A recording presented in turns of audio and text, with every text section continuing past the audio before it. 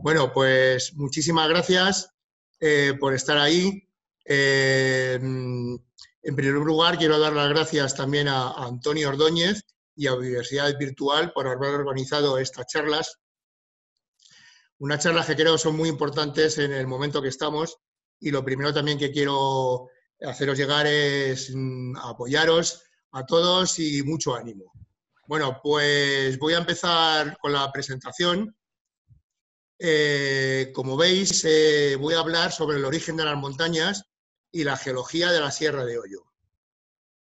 Bueno, para saber eh, de dónde vienen las montañas, tenemos lo primero que comprender dónde mm, mm, voy a dónde cómo se producen los fenómenos de la Tierra. Entonces, hay una teoría, una teoría muy importante que nos explica todos estos fenómenos, que es la tectónica de placas. La tectónica de placas se basa en otras teorías más antiguas. La principal es la deriva continental, que enunció Wegener en 1915, como veis ahí. Y esta teoría se basa eh, o propone que al principio eh, del tiempo geológico, o cuando ya mm, llevábamos unos 200 millones de años, mejor dicho, eh, había solo un solo continente que se llamaba Pangea. Eh, Pangea es un nombre en griego que significa eso, un solo continente. Y aquí os voy a poner una animación para que veáis cómo ha ido evolucionando, al, voy a ir parando, no, no, sí, cómo va evolucionando a lo largo de la historia Que no lo puedo hacer, Izan. A lo largo de la historia ha ido evolucionando y habéis visto que los continentes eh, ahora son muy... También se prevé que dentro de 50 millones de años, eh, por favor, quitar los audios. Se prevé que estén más o menos como hasta ahora, dentro de 50 millones de años, aunque no creo que nosotros lo veamos. Bueno, en la tectónica de placas, como os decía, la teoría... Hola, Irene es la teoría actual que es, de, los años 70 del siglo pasado. Bueno, pues esta teoría eh, propone que existen unas placas, unas placas en la Tierra, mm, que las placas tectónicas, hay siete placas principales, la sudamericana, norteamericana, euroasiática, etcétera, y luego hay otras 20 placas secundarias. Aquí en esta diapositiva podéis ver la distribución de las placas a lo largo de, toda la Tierra. Bueno, eh, como decía, eh, la tectónica de placas para los geólogos es algo importantísimo porque de una vez por todas se pueden definir el origen no solamente de las montañas, sino de los terremotos, de, mm, los volcanes y de prácticamente todos los fenómenos endógenos, es decir, los que ocurren dentro del interior de la Tierra. Eh, las placas se mueven. ¿Y por qué se mueven? Bueno, primero os quiero mm, que veáis eh, el concepto de litosfera. Bueno, es la capa más superficial de la Tierra. La, corteza terrestre y la zona externa del manto. Bueno, pues esta, esta capa, la litosfera, flota sobre parte del manto superior que le llamamos astenosfera. La litosfera está fragmentada, como os he dicho, una serie de placas tectónicas y en esos bordes se, se concentran los fenómenos geológicos.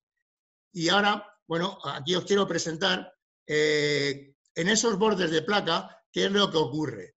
Luego os enseñaré otra diapositiva también, pero aquí veis, como hay una zona de subducción, la placa está, una placa entra mm, por debajo de la otra y se producen movimientos. Esos movimientos se producen por dos razones fundamentales. Una, por diferencias de temperatura, la parte más baja de la litosfera está más caliente y tiende a ascender, exactamente igual que el aire.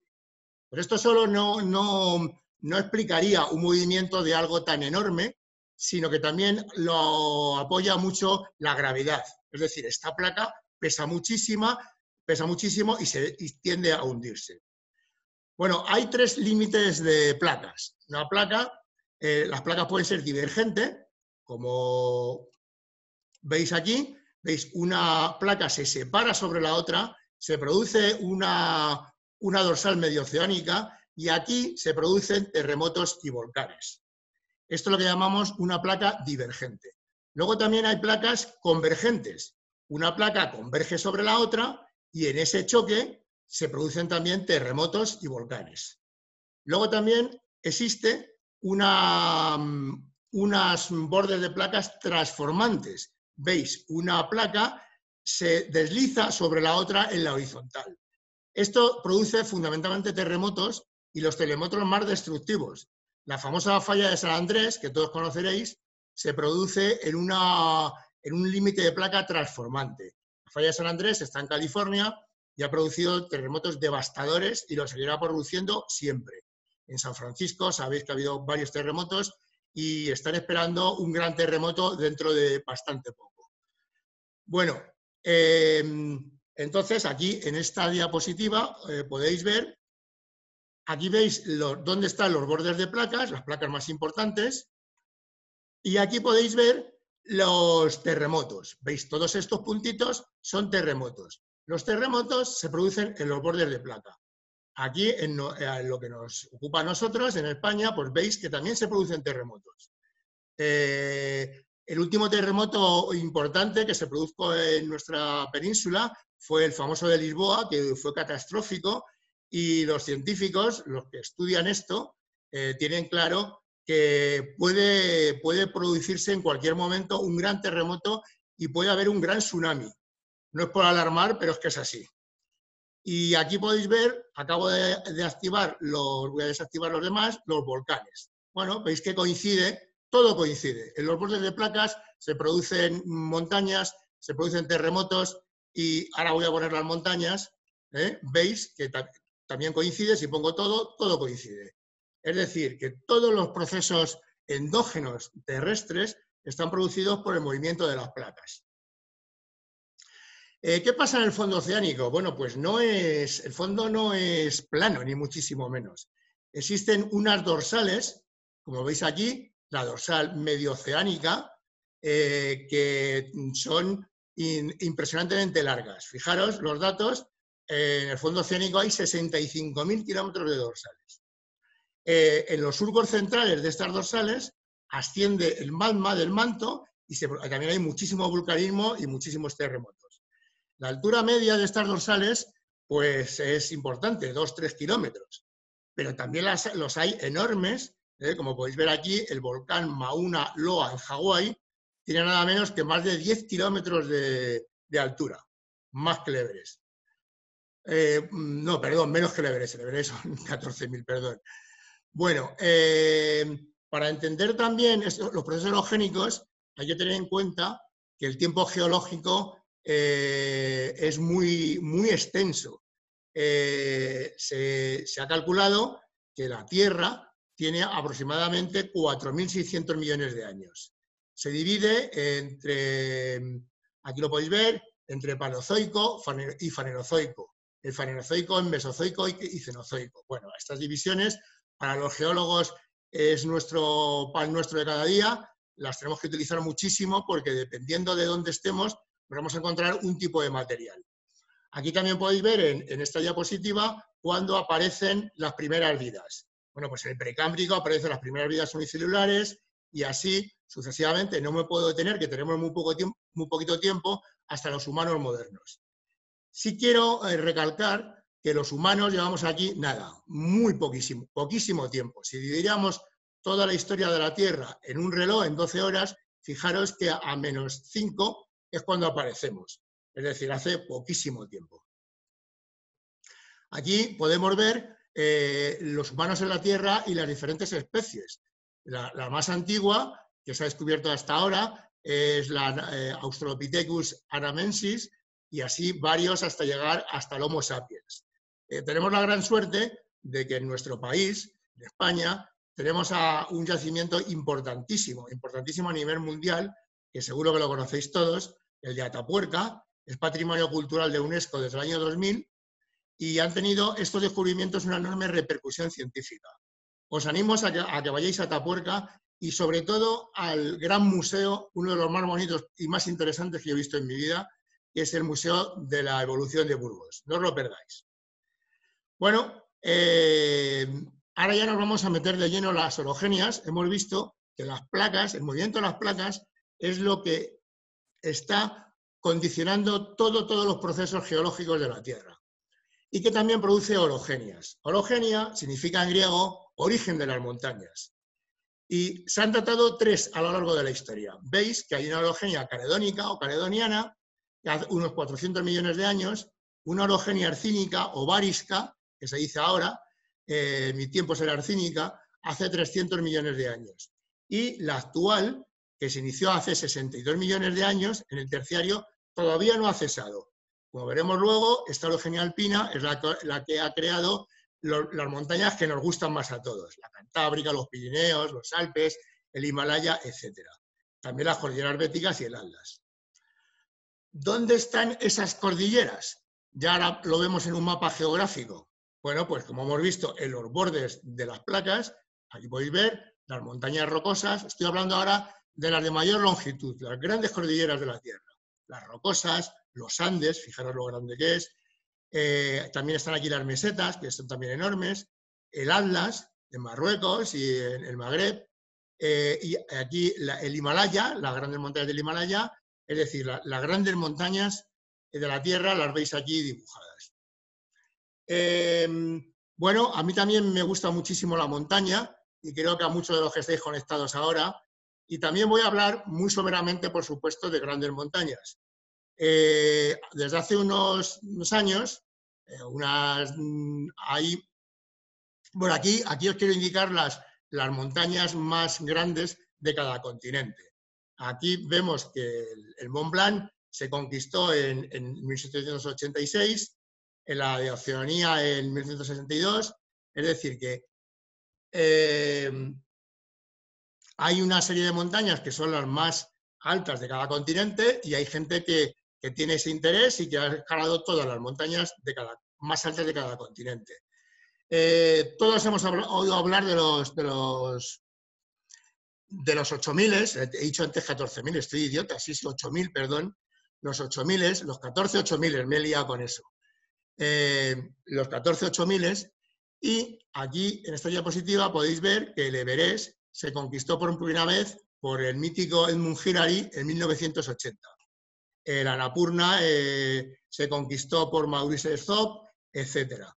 Bueno, eh, también eh, los 14 em, son objeto de, deseo de muchísimos alpinistas, de grandes alpinistas, por supuesto, y, y, a día de hoy, pues hay 40 personas que han hecho los 14 De esos 14 de, perdón, de esas 40 personas, hay cinco que aquí hago un recuadro que son españoles. El primero fue Juanito Yarzábal y también quiero hacer una mención especial al gran Carlos Soria, que está en, el intento de conseguir esos 14 8000 y el gran mérito que tiene este gran alpinista y gran persona es que tiene más de 80 años y, lleva ya bastantes 8000, no recuerdo ahora cuántos. Ojalá que lo consiga porque se lo merece. Bueno, pues ya vamos a pasar a, las orogenias en Europa. En Europa, eh, como veis aquí, eh, hubo una orogenia precámbrica y ¿qué es esto? Todo esto amarillo es la orogenia más antigua, es la Europa más antigua, mm, por, eso está, eh, no hay apenas montañas, está totalmente arrasado o muy arrasado, y aquí podéis ver en amarillo la Europa más antigua, la, caledoniana o caledónica, arcínica, alpina, etc. Y aquí veis dónde está el volcanismo más reciente en la maravillosa isla de Islandia, que, tengo muchísimas ganas de conocer, que todavía no conozco desgraciadamente. Bueno, aquí en esta diapositiva os presento el relieve de Europa. Fijaros que el 60 66% de Europa está constituido por llanuras de menos de 200 metros de altitud. Es decir, hay bastante más llanuras que montañas. Pero también tenemos nuestras montañas maravillosas, los Alpes, los Pirineos, etc.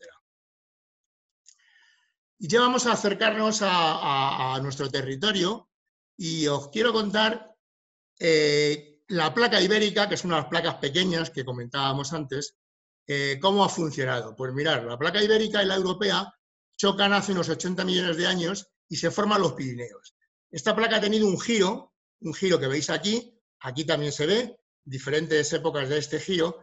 Este giro lo que, este hace es abrir el Golfo de Gascuña, ¿eh? donde actualmente está el País Vasco y las maravillosas Irlandas de Francia. Y entonces, pues, como digo, la península ibérica estaba aquí, ha ido girando, girando hacia el sur y hacia el este. Eh, y hace 30 millones de años esas placas también chocaron, eh, la, placa ibérica y la africana, y formaron las béticas, las béticas que están por aquí, ¿eh? y el Rif, las montañas del Rif en Marruecos.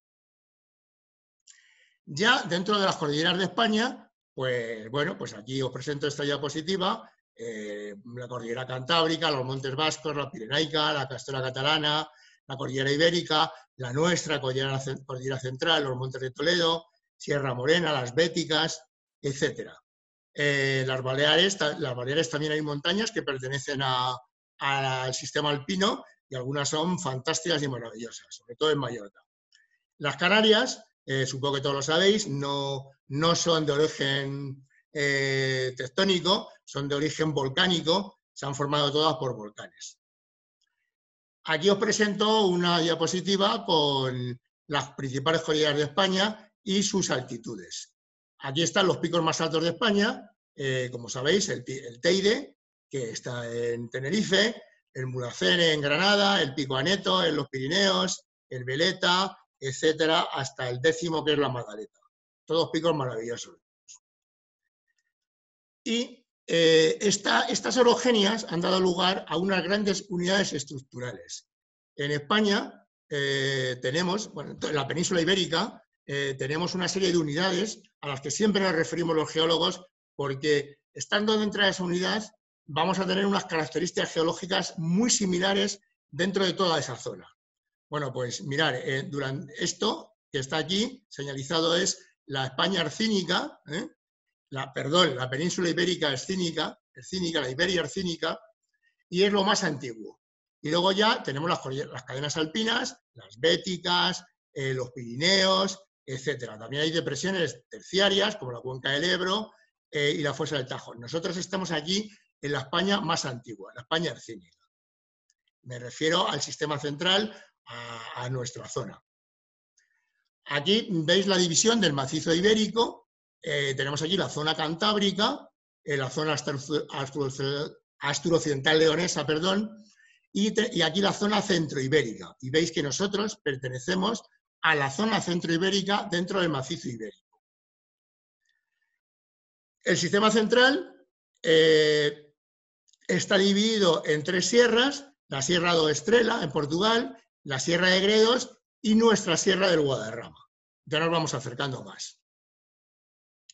La Sierra de Guadarrama es una alineación montañosa eh, que pertenece al sistema central y, como hemos visto antes, está entre las sierras de Gredos y de Aillón.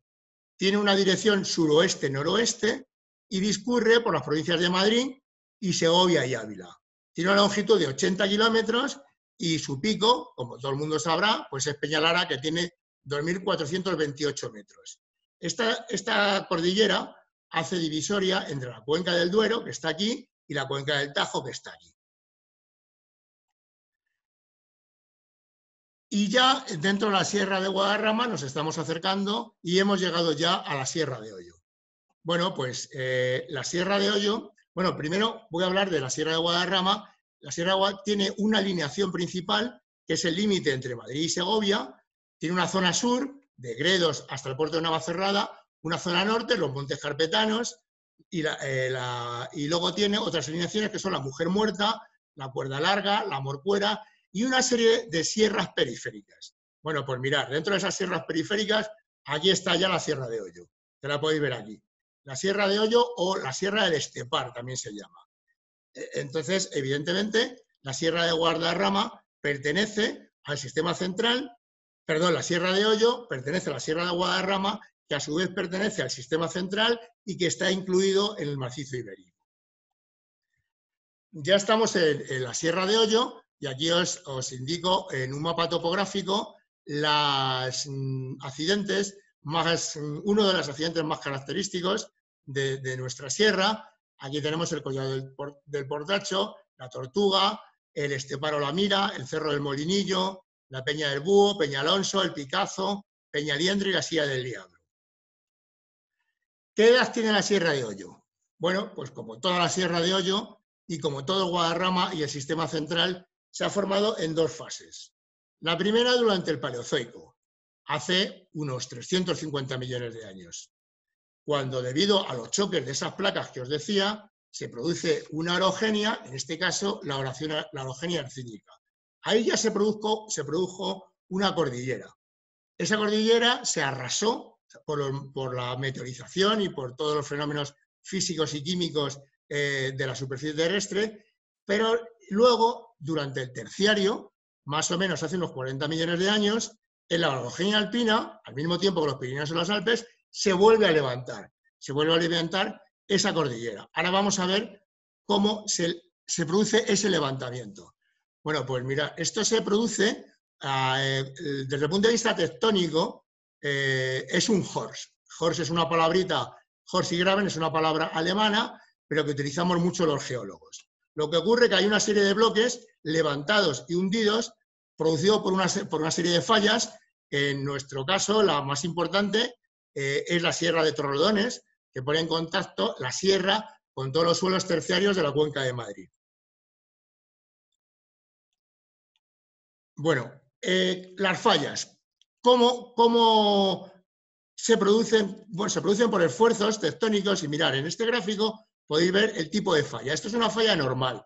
Hay un labio, el labio hundido, que se desplaza, se desplaza respecto al otro, ¿veis? Y luego puede haber una meteorización, como hemos visto en esta animación, y se erosiona y la falla puede que no se vea en un sitio o, puede que sí.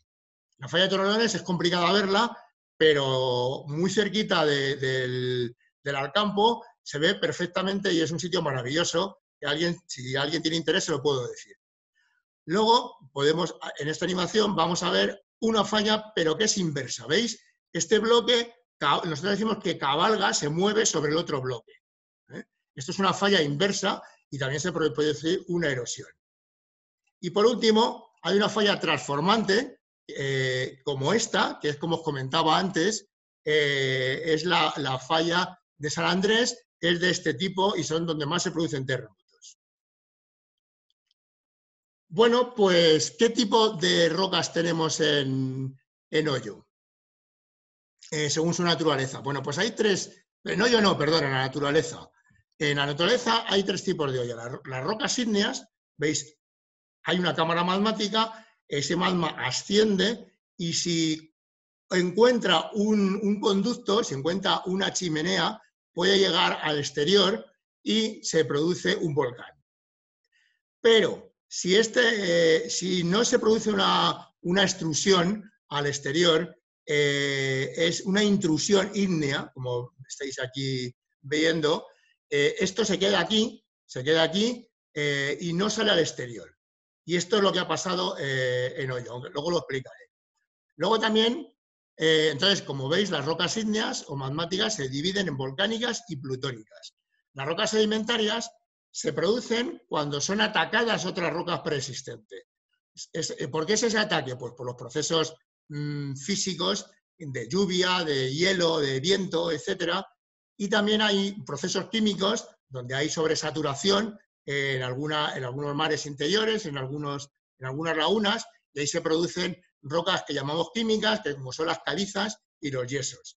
Y luego las rocas metamórficas, por último, son de una roca ígnea o una roca sedimentaria si por procesos tectónicos se vuelven a, introducir dentro del interior, eh, se produce un aumento enorme de presión y temperatura y entonces pues esa roca persistente se transforma en otra que se llama metamórfica, eh, como puede ser el, mármol, el neis o las pizarras.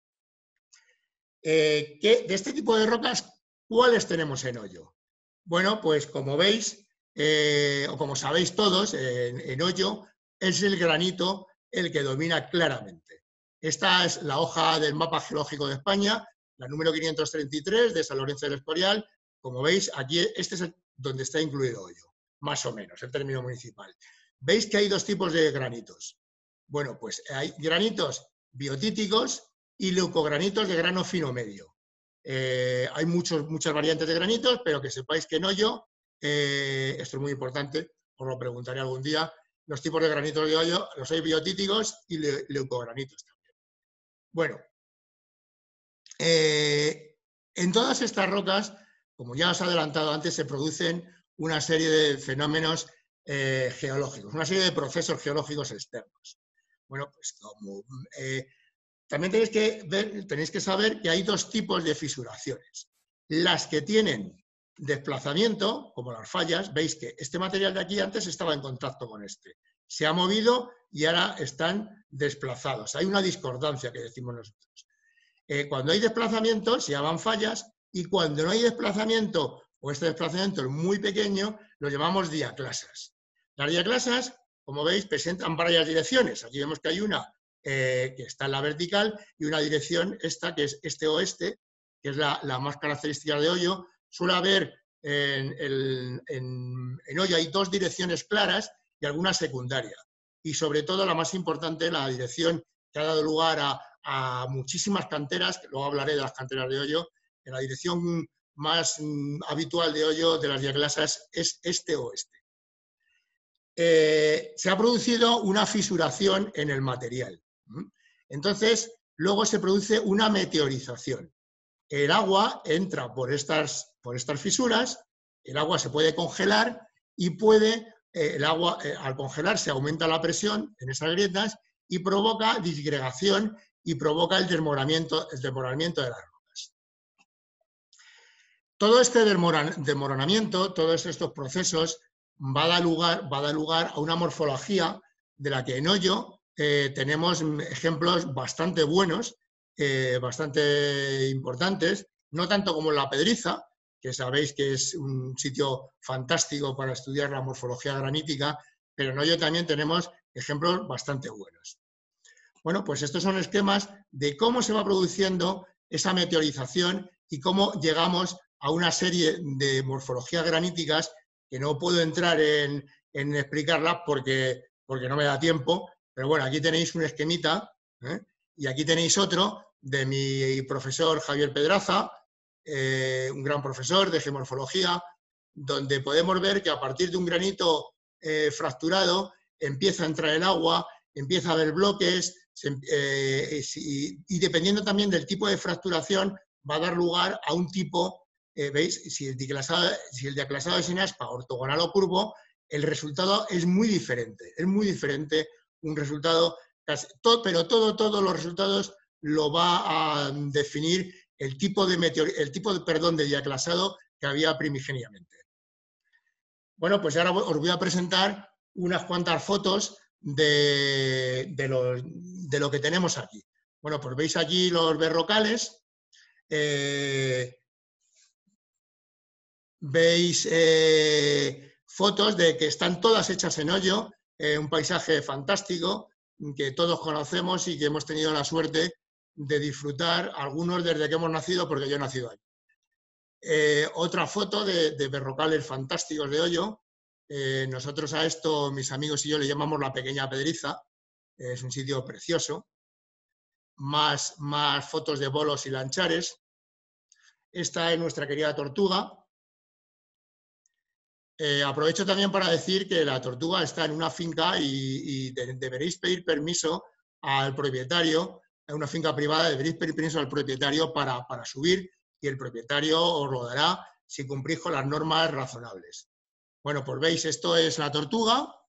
José Luis, disculpa la, interrupción, quedan 10 minutos. Vale, de acuerdo, pues me doy prisa.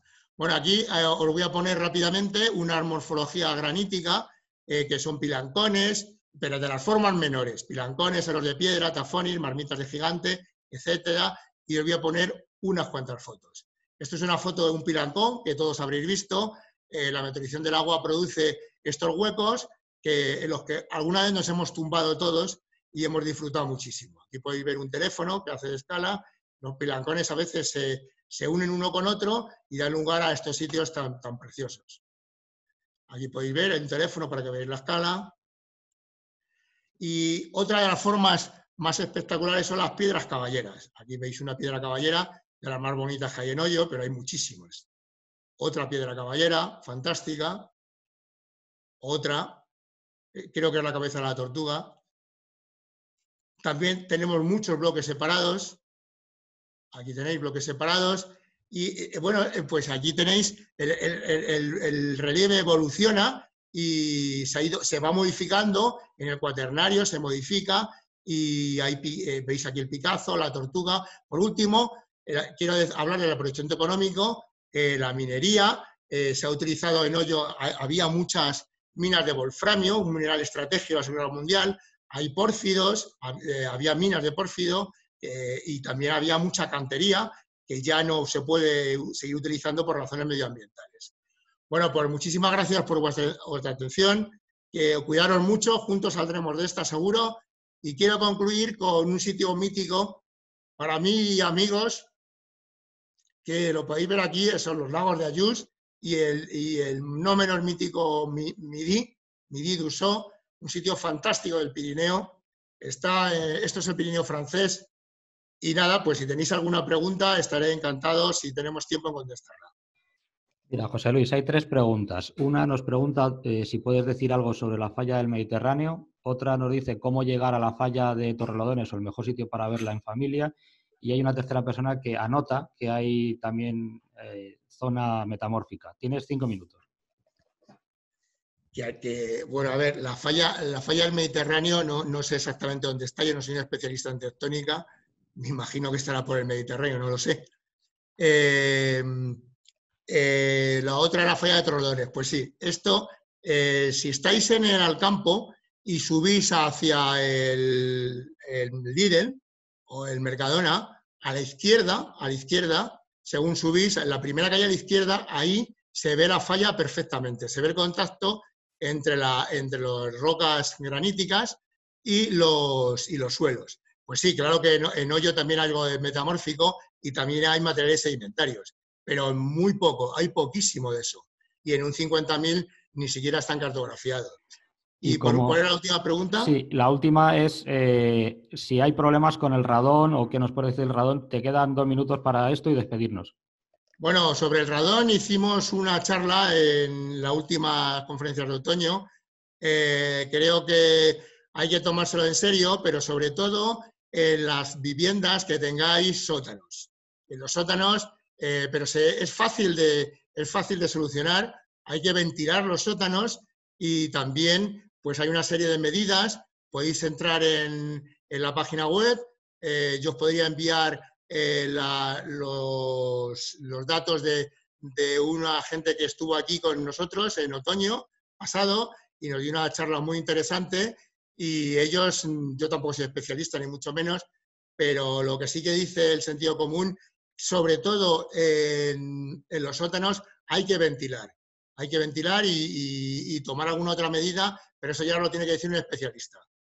Pues nada, no sé si hay alguna pregunta más. De momento nada más. Tenéis el chat y el Facebook del Observatorio Ciudadano de la Biodiversidad de Hoyo de Manzanares y hoy a las 4 tenemos la charla de libros de naturaleza por María Sánchez y a las 6 la charla sobre la flora de Hoyo.